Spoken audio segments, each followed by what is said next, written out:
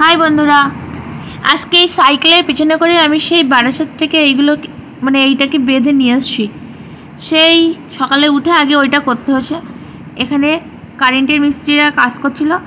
তো ওদের এই পাইপ কম পড়ে গিয়েছিল, তো আমাকে বলেছে বামদাদাকে ফোন করে বলেছে, বামদাদা আজকে আসতেই পারল না। সকাল থেকে আজকে এখানে বামদাদেরই থাকার কথা, কিন্তু ও একটা কাজে আটকা পড়ে গেছে, তো আজকে আমাকেই ডিউটি দিতে হবে। আগামীকাল আর কি আমাদের ছাদ ঢালাই। তো এখানে আজকে বামদাদা থাকলে খুবই ভালো হতো, কারণ অনেক কিছু দেখে ডেকে নিতে পারতো, কিন্তু সেই দায়িত্বটা আজকে আমাকেই নিতে হবে, কিছু করার নেই। তো আমি এখন আর কি নিচে এসে বসে আছি।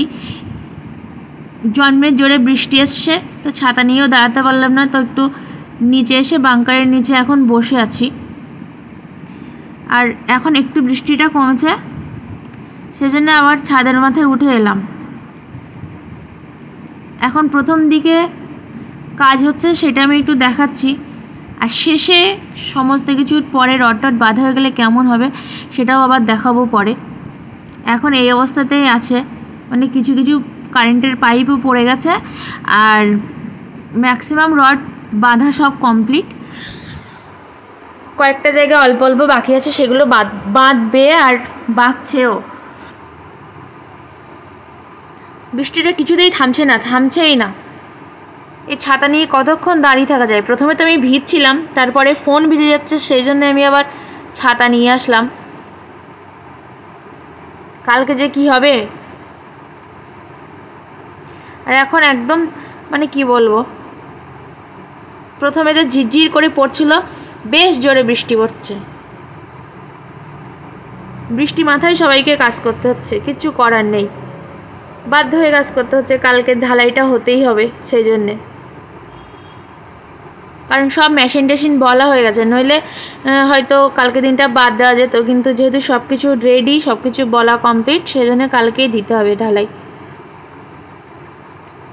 সেই জন্য আর কি জোর কদমে বৃষ্টিতে ভিজেও সবাই কাজ করে দিচ্ছে। আমি আর দাঁড়াতে পাচ্ছি না সেজন্য আমি একটা ইট নিয়ে তার উপরে এখন বসে পড়েছি। সত্যি সেই দুপুর থেকে বৃষ্টিটা শুরু হয়েছে, আর কিছুতেই থামছে না, কিছুতেই থামছে না।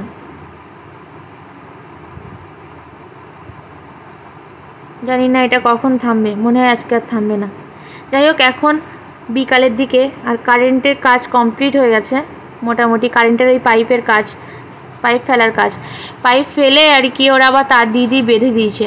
তারপরে ফ্যান যেখানে যেখানে বসবে সেগুলো বসিয়েছে। মানে সমস্ত পয়েন্ট করা আর কি কারেন্টের এখন কমপ্লিট হয়ে গেছে। ওইটা একটা ফ্যানের পয়েন্ট করেছে। প্রত্যেকটা ঘরে এরকম করেছে। আর এইসবগুলো দেখে নিতে গিয়েই আর আজকে দুপুরে বাড়ি যাওয়া হলো না। তো সারা দিন সেই সকাল থেকে এই পর্যন্ত না খেয়ে আমার পার হয়ে গেল। মিস্ত্রিরা বাড়ি থেকে খাবার নিয়ে এসেছিল, ওরা সেটা খেয়েছে। আর আমি তো সারাদিন খাওয়ারই সময় পাইনি। বা একবার বাড়ি আসব ভেবেছিলাম, কিন্তু বাড়ি আসতে পারলাম না। তখন জোরে জোরে বৃষ্টি হচ্ছিল সেই জন্যে আর এখন বাড়ি এসে আমি ভাতগুলো দেখলাম পচে গেছে, তো সেগুলো সব ফেলে দিলাম। আর বান্দাদা এখন খাবার নিয়ে এসে দিয়েছে, তো সেই খাবারটাই খাচ্ছি। আর আমার এত খিদে পেয়েছে বান্দাদা শুধু এনে দিয়ে বাথরুমে ঢুকে গেছে, আর আমি ওই ফাঁকে খাওয়াই শুরু করে দিয়েছি।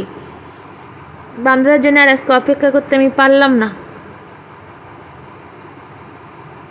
আর এখন এত কষ্ট হচ্ছে, খেয়ে দিয়ে একটু শুতে পারলে বাঁচি। সারাদিন দাঁড়িয়ে দাঁড়িয়ে কোমরটা একদম ব্যথা হয়ে গেছে। আর এতটা সাইকেল অনেক দিন পর আজকে চালালাম, অনেকটা সাইকেল চালাতে হয়েছে, প্রায় পাঁচ ছ কিলোমিটার সাইকেল চালাতে হয়েছে আজকে। তো এখন আমি খেয়ে দিয়ে ঘুমাবো। সবাইকে গুড নাইট